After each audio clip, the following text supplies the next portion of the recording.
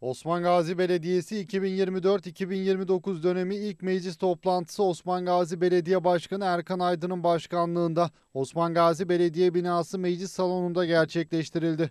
Osman Gazi Belediyesi'nin 2024-2029 dönemi ilk meclis toplantısında en geç meclis üyeleri olan Özlem Bodur ve Ali Metin Katip olarak seçildi. Ardından partilerin grup sözcülerine konuşmalarını yapmak üzere söz verildi. Osman Gazi Belediye Başkanı Erkan Aydın grup sözcülerinin ardından konuşma gerçekleştirerek meclis gündemini açtı. Aydın konuşmasında hizmet vurgusu yaptı.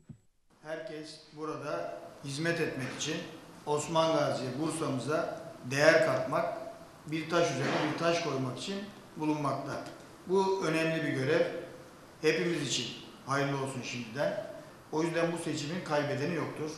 Bu seçimde her birimiz muhtarlarımızla, belediye meclis üyelerimizle, vatandaşlarımızla hizmet etme yarışında birbirimizle belki rekabet edeceğiz.